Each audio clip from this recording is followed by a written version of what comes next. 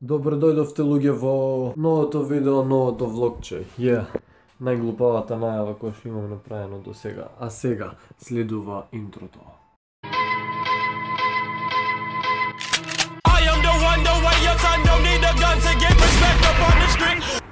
Почнуваме ова прекрасно влогче со ова прекрасно јадење кое што го подготвувам јас, ама луѓе морате да видите. Покрај овој прекрасен ручек, јас одлучив да го јадам графчето од вчера и да си направам да си ги средам овие колбаси да и тоа е тоа.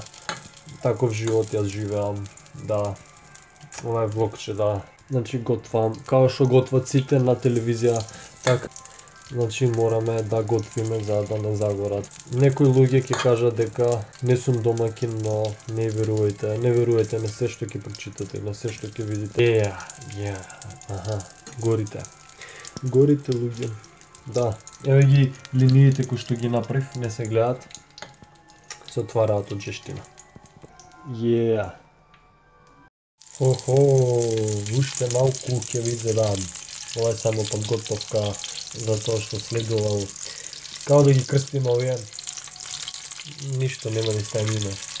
Океј, вие се готови, преминуваме на следното нешто. Као што можете да видите, премногу имам простор, па можам и да го планирам. Очи има толку многу работи. Очи има толку многу работи, не знаеш од каде да почнеш. Так. Кај си влегло бе, искаче да двориш, е табу. Види го будала, јас се шале. И ти бе, шо го слушаш брат ти? И ти бе као најстар, кај ги однесе децата? Искаче од тавче, будалинди. Ништо за ебанција за итинов. Океј, сега правиме, мен, сега ги менуваме страните, значи. Треба да бидам предпазлив со ова, пошто ако Зна, е, тама сум предпазлив врз крпот. Океј, мисли, врати го назад. Значи малку фалеш ова го ставам горе и да го сјебам фрижидерот. Па што видите, се спремаме за надвор. Прилично е убаво, мирно е многу. Пишете у коментар кој е бољи лаптоп, со кој би играле лол. Што можете овој гледате овде, сирам сликичката искината како што можете да видите. А мојот е нов, уште фолијата немам избавен. Уште фолија, седи. Но овој лаптоп ги едитуваме сите видеа. Играме лол. Ја. Yeah. Фала, ќе го клучам, фала брат. Ај брат да ми преш душтва продавница. Зошто? Ќе ти кажам.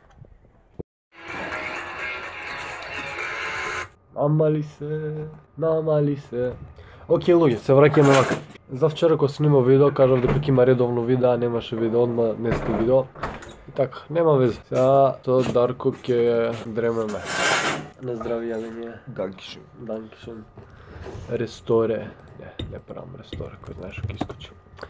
Океј, ми се укочи, види, not responding. Па ни ова не ќе да ми игра, не се рускиот. Ни ова не ќе да го клучи, сега треба да чекам. Еве го, еве го, се шекнува.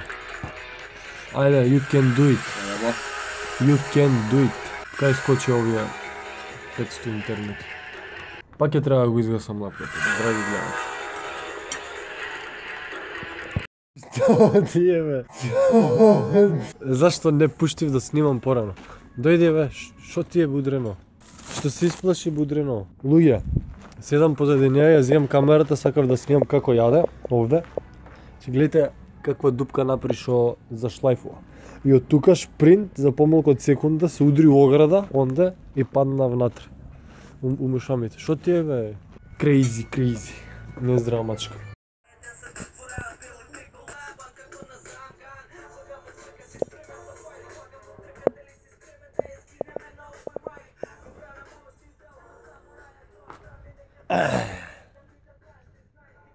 Како избега преска, бе, дупки напред.